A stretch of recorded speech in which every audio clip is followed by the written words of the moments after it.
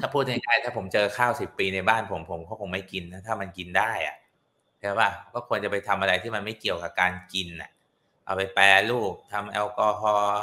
ผสมโน่นนี่ก็ได้อะไรเงี้ยคือ คือเรามาพิสูจน์แล้ว แต่เผอิญผมคิดว่าอ่าแต่มันเผอิญเนี่ย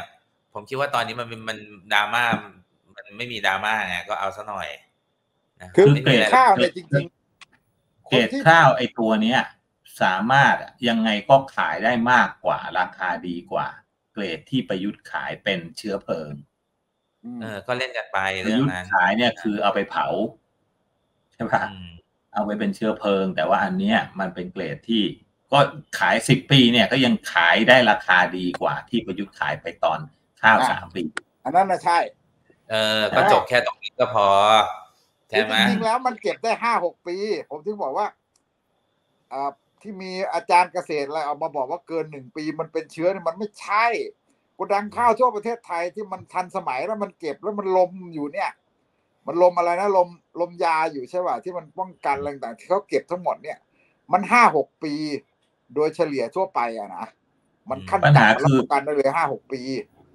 ปัญหาคือทำไมพอติดเชื้อแล้ว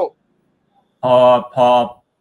อ้วนเปิดเรื่องนี้ ภูมิธรรมเปิดเรื่องนี้แล้วจึงไม่มีนักร้องร้องต่อว่ะต้องไปยื่นปปชดิตรวจสอบรัฐบาลประยุทธ์ก็ใช่ก็น่าจะทำก็ทำควรทำน่าจะทำก็ไม่ทำเออ อันเนี้ยแต่ผมมันจบแล้วล่ะเรื่องนี้มันไปจบไปแล้ว